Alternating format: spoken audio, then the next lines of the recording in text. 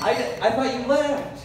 Hey, hey, it's not December 24th yet. Hey, there's no respect around here. This guy's trying to do more aphorisms and turn them into funny sayings. Hey, hey, there's no respect around here. You know what I mean? You know, ladies, I see out there tonight a lot of beautiful ladies. You know, you no respect for ladies.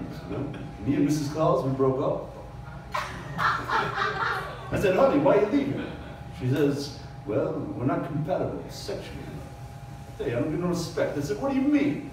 She says, we've been married 600 years. She's never made me climax once. I said, what do you want? I only come once a year. Oh. like I said, I don't get no respect around here.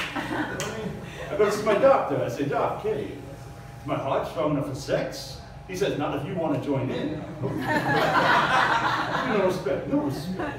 You know what I say? Uh, I am dating though. Hey, uh, still don't get no respect though. This girl calls me up. She says, hey, come over. No one's home. I show up, no one's home. Uh, that's, about, that's, that's it though. I gotta say, uh, big round of applause for all your comedians tonight. Yeah, let's give me a respect. Give me a respect for this guy. So, uh, a very big hand for Rob behind the bar. Yeah, what a a job, what a job. I push a button on the screen. Ooh.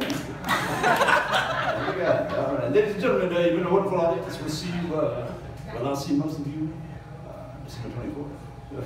I don't give respect. Uh, if you wake up and you see me hovering over your bed, don't worry about it. It's just a dream. All right, send a love.